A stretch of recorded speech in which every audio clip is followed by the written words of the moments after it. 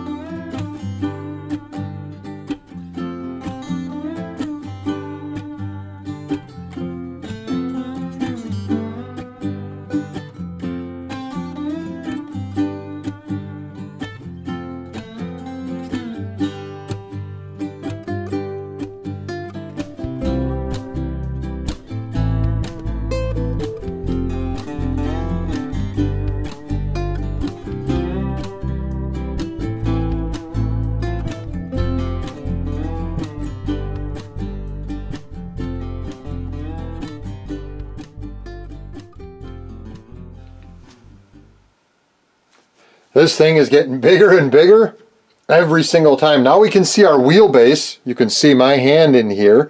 We can see the wheelbase of the car, the size of the wheels, the engines I've built, the transmission, the entire pan for the body here. And today, on this section, the first steps of this video, 31, 32, 33, and 34, we put together the trunk pan and the entire, not just partial, the entire exhaust system is mounted.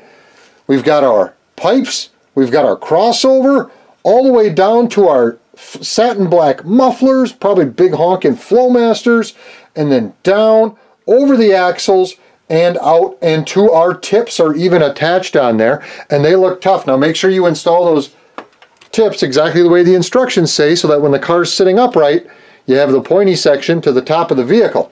So that is it those four steps. Now, every single step isn't going to be a major part. It's going to be exhaust and muffler. Sometimes it was a little bit of wiring harness. Sometimes it was a little bit of the steering linkages. Of course, the car is broken into four easy steps per month, so don't expect to get giant steel frame parts and wheels every single issue. That It just can't be done that way. So we're going to be building it up, but now, I mean, we really can see almost the entire size of the car.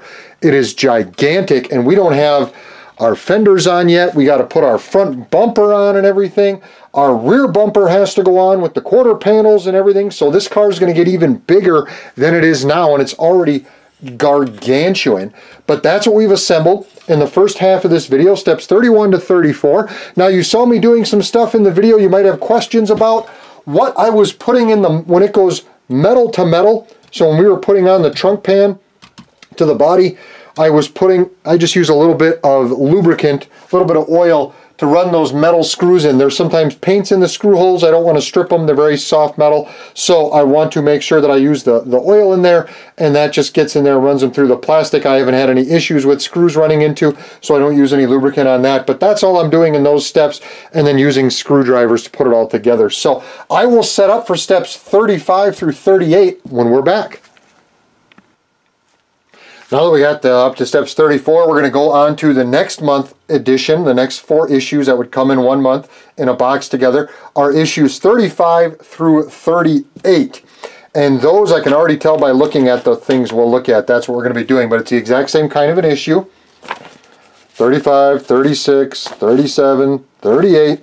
Building it up, and in this one, we've got, to me, that looks like a drive shaft. This is definitely the rear end, the differential. Ooh, we got some sweet looking brakes and calipers. Got our rotors and everything.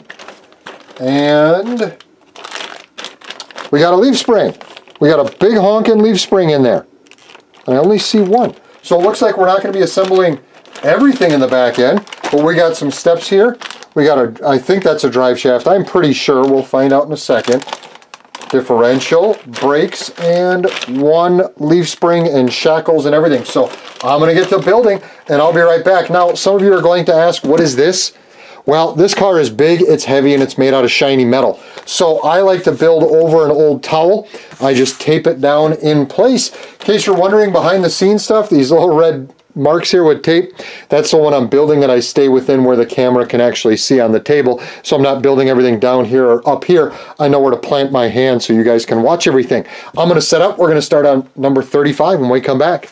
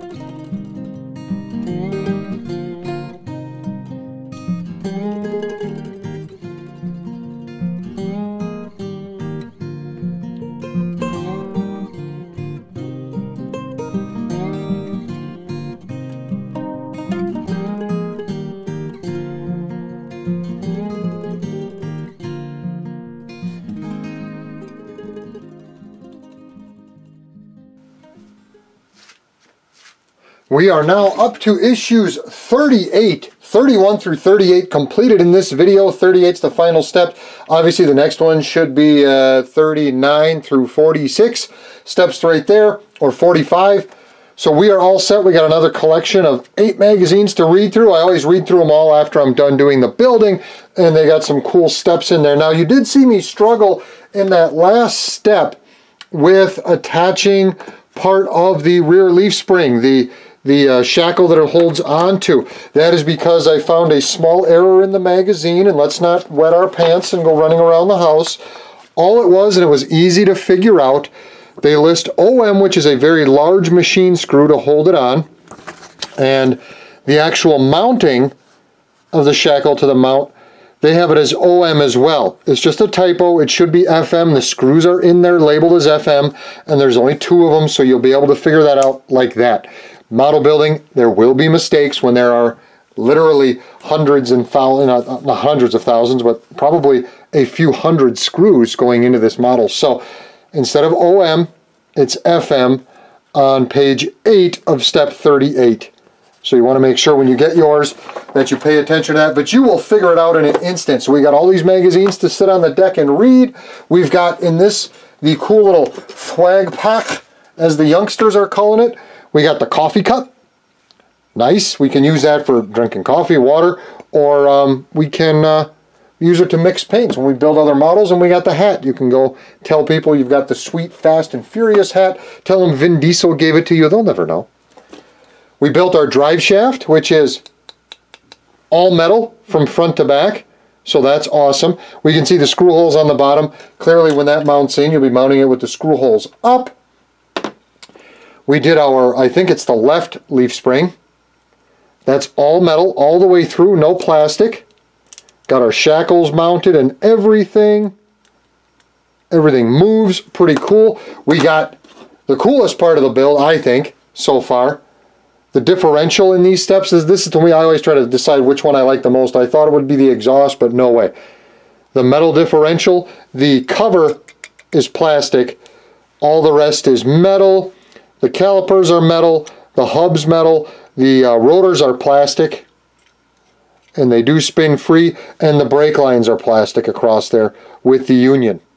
They're all molded in to fit. That is such a cool assembly. Really liked all that. So we've got all that assembled. Obviously, this will be going back here eventually. Four-wheel disc brakes with real Wilwood brake calipers with their name on them and everything. Got our drive shaft, got our driver's side spring, which eh, I'm going to guess go in, oh, maybe it goes in over here, something like that. There we go. Something like that eventually. Bolt in like so. We've done our exhaust system, which is friggin' sweet. The exhaust system is chrome plastic, so are the mufflers. That comes down to a crossover. We got our brake line installed. I didn't show this on camera because you literally just screw that plastic piece in and rub, push that vinyl brake line through. It won't attach to anything until we get the differential in place and then it'll attach right up there. So I did not show that on camera. I didn't show everything else, every single screw going in or we'd have a 90 minute video. So exhaust system is bolted in. It's plastic, but you can pick the car up by it. It's not weak. Two-piece exhaust all screwed together with all the screws hidden on the top side, same as that exhaust. We are ready to go, and we will have another two shipments come in, and when those come in, we will be back with another build, and we'll see you then.